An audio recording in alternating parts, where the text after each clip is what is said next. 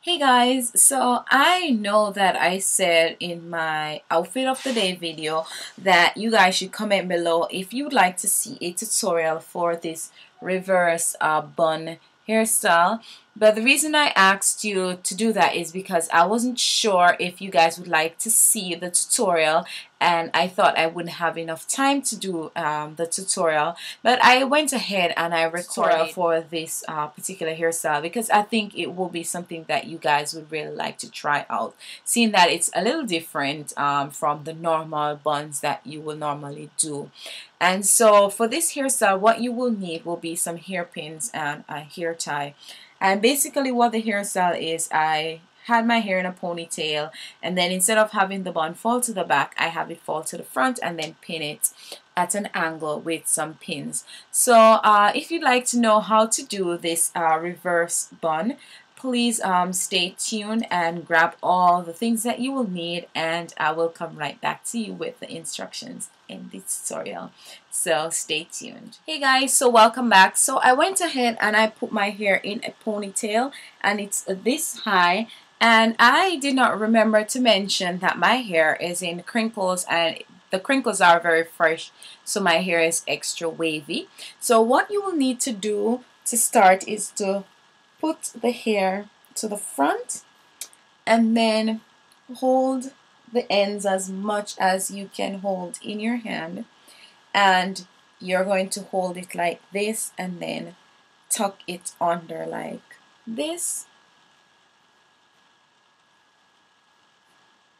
And go ahead and fasten with a pin. So I'll fasten this one with a pin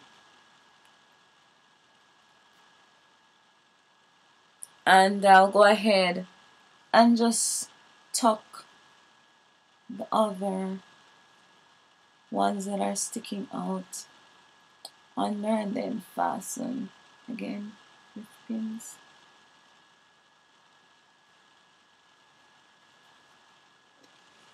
So all you're doing is tucking the hair and pinning it.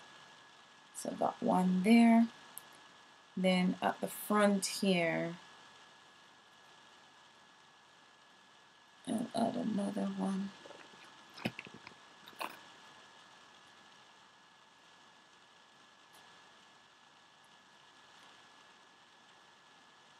And any parts that's sticking out, all you have to do is just to secure with pins. And um, basically you're finished. So uh, any hair that's sticking out all you have to do is either tuck them in or use pins to keep them in place.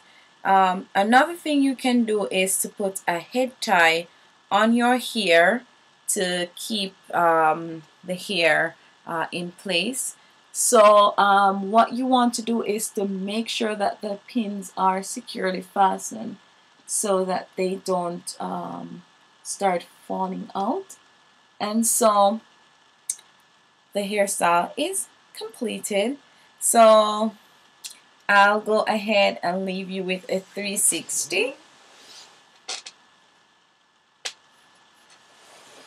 So thank you so much for watching my video guys and I'll go ahead and I'll uh, give you some pictures at the end.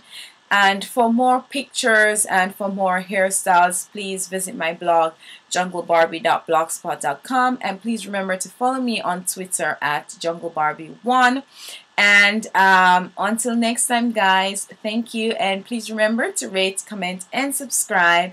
And I'll see you next time. Bye